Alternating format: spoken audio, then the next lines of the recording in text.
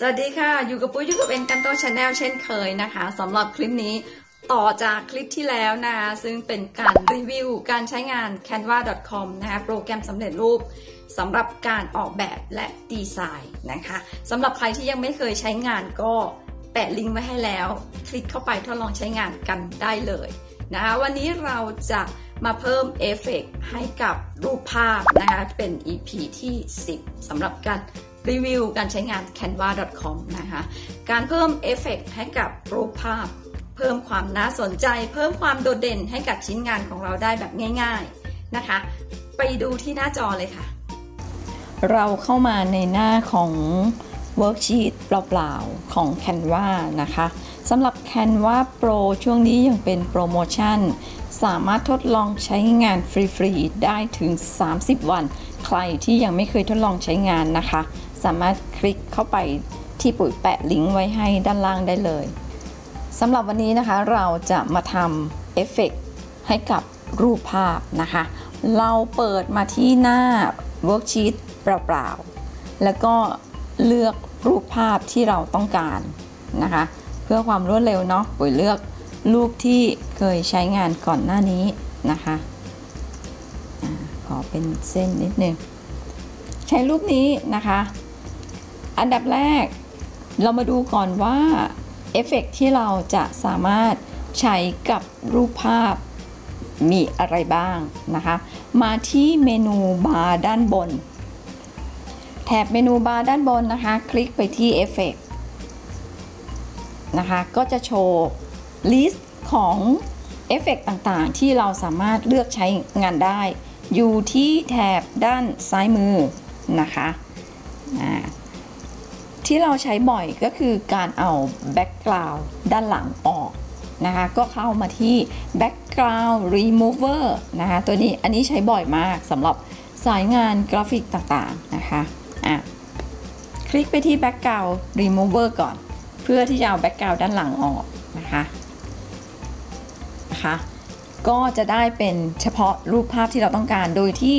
background ด้านหลังหายไปแล้วนะถ้า เราไปทำใน Photoshop เราจะต้อง spot เป็นจุดๆ ใช่ไหมคะ เพื่อที่จะให้ได้เฉพาะรูปที่เราต้องการ แต่สำหรับ Canva Canva Pro canva.com คลิกไปที่ background remover ได้เลยนะคะ ก็จะออกไปเลยนะคะ background ด้านหลังก็จะหายไปเลย ทีนี้เรามาดูสามารถเล่นเอฟเฟกอื่น ๆ ได้ไหม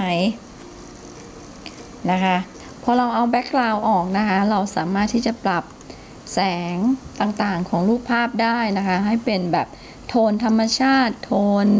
อบอุ่น โทนเย็น โทนสว่างได้นะคะ อันนี้ลองใช้เป็นลูน่าดูนะคะ เพื่อจะได้ให้สีของสีเสื้อกับสีดอกไม้เด่นขึ้นนะคะ เป็นสีฟ้าที่เข้มขึ้นดูโอโทนลักษณะของดูโอโทนก็จะเป็นลูกเล่นที่ใช้สี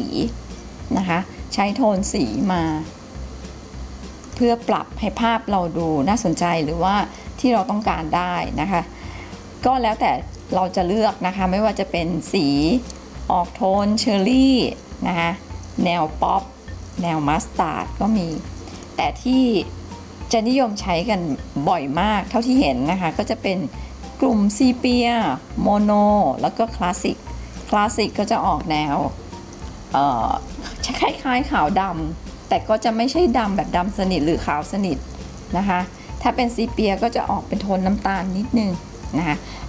อันนี้ก็เป็นคลาสสิกนะคะอะดูรูปแบบอื่นบ้าง pixelate pixelate เป็นรูปแบบอะไรนะคะ ก็จะมีทั้งรูปแบบของดอทซึ่งภาพพวกนี้สามารถนำไปประยุกต์ใช้เกี่ยวกับ งานด้านการปัก พวกคอสติสพวกอะไรพวกนี้ค่ะ จัดไหมเพื่อมาปักรูปภาพได้นะคะแล้วมาดูกริดนะคะกริดก็จะเป็นลูกเล่นเกี่ยวกับแถบสีเหมือนกันนะคะก็เข้ามาดูได้เนาะอะลองคลิกดูมิเลอร์mirror ก็จะเป็นเหมือน เหมือนการเอากระจกสองบานมาแนบกันนะคะ ซ้ายขวา รูปภาพก็จะ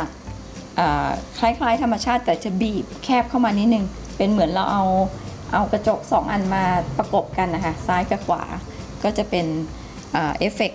ในรูปแบบของ mirror นะคะอันนี้เป็นแบบคลื่นคลื่น liquify liquify เป็นเป็นแบบคลื่นคลื่นเหมือนของเหลว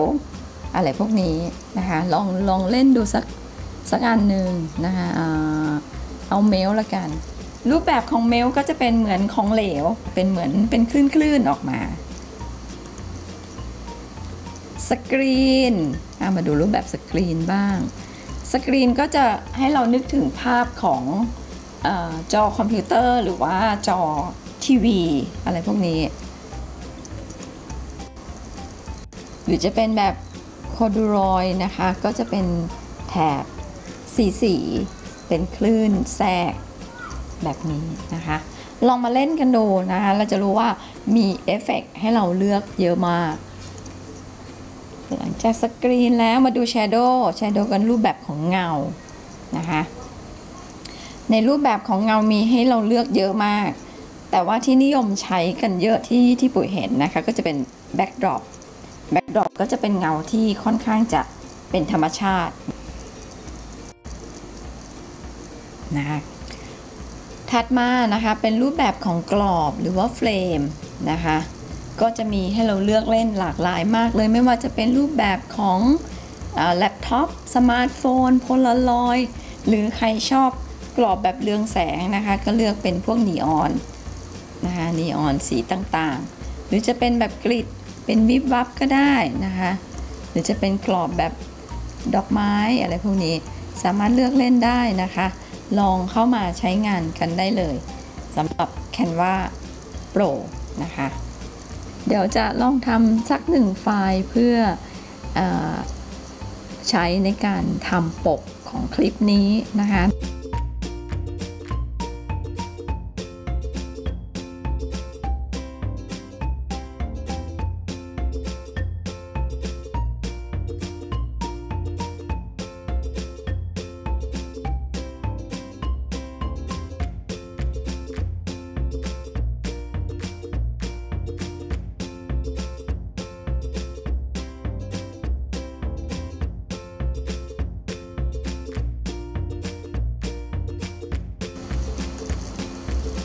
จะใช้ประมาณนี้นะคะ ก็จะได้